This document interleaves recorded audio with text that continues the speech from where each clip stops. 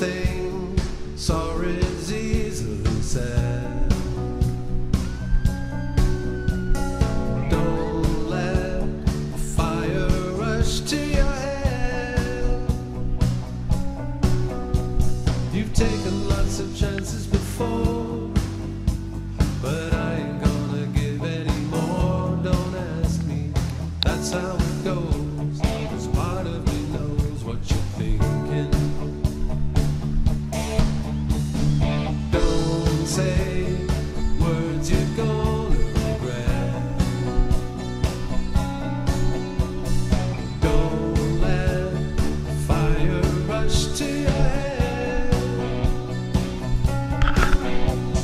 I've heard the accusation before.